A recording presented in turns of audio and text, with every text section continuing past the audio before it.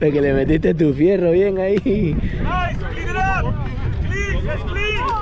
Uh, I was gonna give I gave some socks to my banana.